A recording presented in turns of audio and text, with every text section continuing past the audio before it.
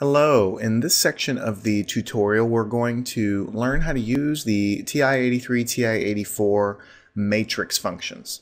Uh, so the calculator is actually very very good at handling matrices and does almost everything that you want to do in a typical class setting uh, to deal with matrices. And the good news is it saves you a great deal of time because matrix operations by hand is uh, not hard, it's just time consuming. So for the TI-84 calculator, the uh, matrix button is really a second function up here.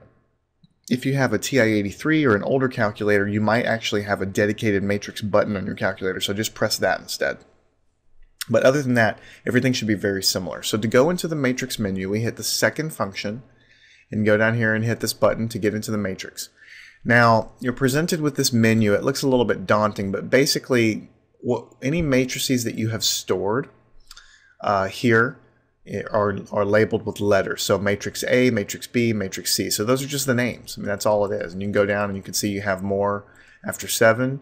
Uh, you have eight, 8, 9, and 0. So you have 10 matrices you can store at any given time in this calculator as far as permanently storing them. Uh, now let's say you had uh, a matrix that you had stored already in matrix A. So under the names column here, if you just hit enter or hit the number 1, then it will just put that name on the calculator screen and you can do all kinds of things with it. You can multiply with it, you can divide with it. This is this is where you would do your calculations.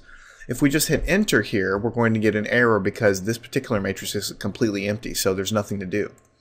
Uh, so let's clear it and go back to the matrix menu. And now let's go ahead and put a matrix in there. So let's skip the math menu for a second. This is where you do a lot of the uh, math functions on a matrix. Let's go over to the edit menu. So it's the same kind of thing. Whatever matrix you would like to edit, in other words, um, put numbers in for the matrix, you have to go to, over to the Edit tab. So for matrix A, let's hit uh, hit one. Let's say we have, uh, and, and at the top it's asking us, okay, matrix A, is it a one by one matrix? What do you, what is it? You can type in the dimensions of the matrix. Always remember, this will help you in matrix math when you have the dimensions like this. It's always row by column. So think of row and column, row and column, row and column. So this is one row and one column. If we change it to uh, uh, 2 enter, 3 enter, then this is two rows and three columns. So you get the idea. If we go back up there, we change our mind, we might make it five rows by two columns, right? So we have five rows, two columns. So you can construct uh, really any size of matrix you want. In reality, there is a, a, limit to the size of the matrix you can you can make, but I guarantee you that for a classroom, this calculator will more than be able to handle any matrix that you'll throw at it on a test or on a problem. Okay, so you go ahead and list it here. Let's go ahead and do something simple like um, 3 by 2, just to keep it a little bit more manageable. So let's change this to 3. We'll hit enter. So three rows, two columns. Now notice that all of my entries have decimal points. That's just because the mode menu over here, um, I've got a decimal point uh, here. I've got a decimal point here. If I change that to zero, like if I, if I knew that I was always working in whole numbers with my matrix, then I could get out of here, go back to the matrix menu, go back to the edit menu, and you see now it tells me that matrix A is a 3 by 2 matrix because I've told it what, what matrix that is. So I can hit enter here and all of my entries are nice whole numbers now, and that's what you usually see in your book, and that's because I just changed the mode menu there, so remember that. So in order to make changes, it's just like you would guess. You go down here and you type them in. Um, so what if I had, you know, 1, 5, 6, 2, 9, 8. So it's just as simple as that. And I can, I can of course put negative numbers in here. I can do uh, things like that. So that's a matrix. Now it's already saved. You don't have to do anything specific to make it save. Uh, so if you go back to the matrix main menu, you will now see that it tells you matrix A is a 3 by 2 matrix. That's what's currently stored there. Um, so if you, at this point, hit enter now, then it's going to put that, let me actually clear this. This will make it, this will make it simpler to understand. Let me get out of this, clear. Let's go back to the matrix menu under names, if I hit number one now, then it's just going to put that name on the stack like that. Now, it's giving you the opportunity to multiply it or divide it or whatever. We'll learn how to do that in a second. But for now, let's just hit enter.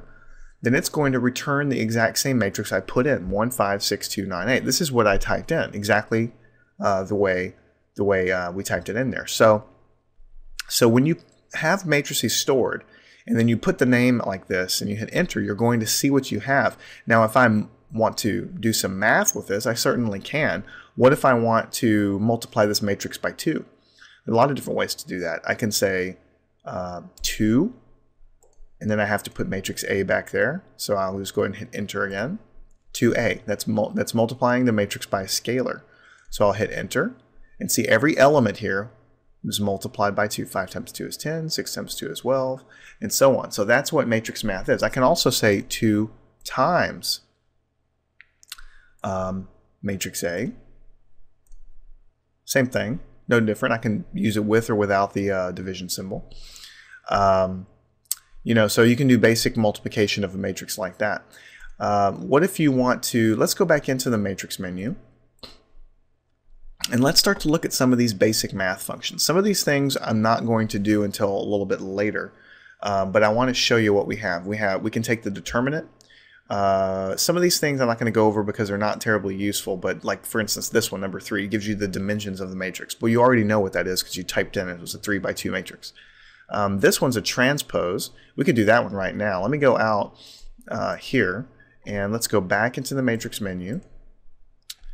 Let's hit number one so that A goes onto the stack. Now, before hitting enter, let's go back into the matrix menu. It's a little bit cumbersome having to go into the matrix menu all the time, but it gets the job done. Go down here to the transpose. Actually, before I do that, let's put the matrix back up on the stack before I do the transpose. So let's go, that's the regular matrix. Me put that on the stack. Me go back into the matrix menu, over to the math menu, down to transpose like this. So we've put the regular matrix on the stack that we have. Now we're going to transpose this matrix and see what happens. Notice what happens here. All of the rows here become columns in this matrix, and that is what a matrix transpose is. So 1, 5, 1, 5, 6, 2, 6, 2, 9, 8, 9, 8. So transposing a matrix is not a hard operation, but it's nice to know that it's built into the to the TI here. So maybe you have a very long expression expression that involves the transpose of a matrix. You could just type it in like that. What else do we have in here in the math menu? Um, there's not too many other things here, honestly. Uh, I'm going to get to these row reduced forms in another section, and these things I'm going to get to in, in another section now. So for now, let's go and put another matrix in here. So let's do matrix B. We're going to edit a matrix, so that's why we're in the edit menu. Let's hit B. And let's make this one, instead of a, um, a uh, 2 by 3 matrix, let's make this one a 3 by 2 matrix. So let's go over here into the edit menu. We'll go down to B. So instead of 3 by 2, let's make this one 2 by 3, and you'll see why I'm doing that in a second. Uh, and we can just type in anything here. Negative 2, 0, negative 3, 5, 6, 8. So we've got our matrix B. Okay, so let's go ahead and get out of here. And so we're in the blank calculator screen. So let's put calculator, calculator, um, sorry, matrix A up on the screen. And let's multi multiply it by matrix B. So we'll hit number two matrix A times matrix B. So you're doing your basic matrix multiplication. And you hit enter, and it does all of the math for you. It's again, matrix math is not hard. It's just there's a lot of there's a lot of um, ability to make an error because you're just doing a lot of multiplication and, and addition all the time. So you have to get the um, the dimensions correct of these matrices uh, in order to do matrix multiplication. And if you get the wrong dimension, it's not going to work. So for instance, in this case, if we go back and look here, let me just put matrix A on the stack for you and show you what that looks like. And then we'll go over here, number two, to get matrix B on the stack and show you what that looks like. So here, the matrices that we multiplied together, you see how the, the uh, they don't look identical. And, and in general, they won't for matrix multiplication because when you multiply A by B, you're taking this quant this number times negative 2 plus this number times this one. So the number of columns in the matrix, the first matrix, has got to be the same as the number of rows in the second matrix. So what we can do here is we can go up here and instead of making this 2 by 3, let's make it a nice square 3 by 3 matrix. Let's make it a 3 by 3 matrix. And it's going to put some zeros down here, but that's fine. We don't really care what values we have. Let's go ahead and clear all this stuff off. We'll go to the matrix menu. We'll hit number 1. That's going to put matrix A there. We'll try to multiply by matrix B. Number 2. Matrix A times matrix B. And then we will hit enter and dimension mismatch. So if you ever get something like that, then you've probably, uh, or you definitely have have got the wrong size matrices for whatever it is you're trying to do. So you, a lot of times in matrix math, you have to have the right dimensions, like we talked about for multiplication, and so uh, you need to you need to know that. Okay, so we've talked about matrix multiplication. We've talked about uh, we talked about multiplying a matrix by a scalar. Now we'd like to add and subtract matrices. You're going to find that it's very easy, but in order to add or subtract a matrix, the two matrices must be the same dimensions, and these two matrices are not. So let's go into the um, uh, edit menu for this guy, for number for A here. Uh, actually, I did the wrong thing. Let's go into the matrix menu, and we'll go over to the edit menu over here for matrix A, and we'll hit this guy. And let's go ahead and make it a nice square 3 by 3 matrix. And we could just put some values here in the last column. Negative 2. And we could just leave 0 for that last one. That's fine. Now we'll go back to the matrix menu. And we'll edit the second matrix, which is also 3 by 3, but we had a lot of zeros down here from before. So let's go ahead and at least change some of these things to something other than 0 so we can have something to really show. And 9. It's okay to have some zeros in there. Some matrices really do have zeros. Okay, so we have two matrices. Both of them are 3 by 3. So let's go clear the stack out, go back to the matrix menu. Now we're in the names section, so we'll hit 1 plus 2. So matrix A plus matrix B. Now this will only work if they're the same size matrices. Otherwise you can't add them. You'll get a dimension mismatch again. But if you hit enter, everything is is here. And what it's done is it's taken every element of each of these matrices and add them, add them together. And you can do the same thing with uh, subtraction. You could say A minus B. You can do A minus B. And then you can hit enter, and it's going to subtract the two matrices. So basically adding and subtracting and multiplying and dividing matrices are all very intuitive. You just use the calculator buttons. Um, you can also take a matrix and I've never really used this before myself too much, but you can raise it to power. Let's say you want to square this matrix. It's going to square the matrix. So there's there's a lot of different things you can do with the calculator, and it's very intuitive. The main thing is, is you need to know how to input them so that you can proceed. Now, another thing that you're definitely want, going to end up doing with matrices eventually is taking the inverse of a matri matrix and also taking the determinant of a matrix. Both of them are very easy to do in the TI calculators. Just go to the matrix menu, uh, and you got to put a matrix on the stack. Let's say we want to take an inverse. Let's take an inverse of matrix A. So we'll hit number one. It's going to put matrix A here. And to take an inverse, all you do is press this button right here, which is effectively raising it to the negative one power, but the calculator is not raising each element to the negative one power. It's going in and it's it's doing the proper uh, algorithm to use the elements to, to calculate the inverse. So we hit enter and we get a matrix that looks something like this for the inverse of that matrix. If we go to matrix B, number two, and we hit the inverse, then we get something like that for the inverse of the of the of the matrix. So if we go to the matrix and put this on the stack, A times, let's just do something cute for a second. We'll do matrix inverse of A. So let's take A, matrix A, and multiply it by its own inverse. And what you will get back is what we call an identity matrix. And that's exactly what you should get back for for a um, for an inverse. That's what an inverse is. It's another matrix such that when you multiply it by the first matrix, you get a diagonal ones like this.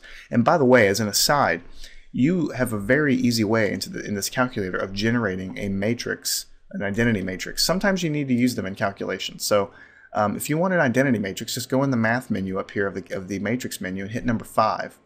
And it's just going to ask you what the dimensions you want it are. So let's say I want a 4 by 4 identity matrix. It always has to be a square matrix. So you hit enter, and it, the calculator just returns a nice identity matrix for you. So, and that is very, very useful. So if you ever need that, don't create a new matrix and type in ones and zeros. Just go in here and put a dimension in, hit it, you know, and then you have the thing right there. And you can use this in an expression or in or another calculation if you need to.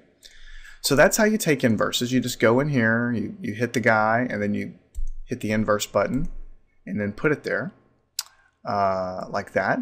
And another interesting thing that you're definitely going to do eventually is you go into the matrix menu in the math menu. The very first thing is determinant of a matrix. So you go ahead and hit number one, determinant of, and it's going to ask you what matrix are you trying to take the, the uh, determinant of. So you have to type that in as well. So let's say it's matrix number one or uh, matrix A. So you hit number one. So you're taking the determinant of matrix A and you're hitting enter. And so you should always just get a single number back for determinants.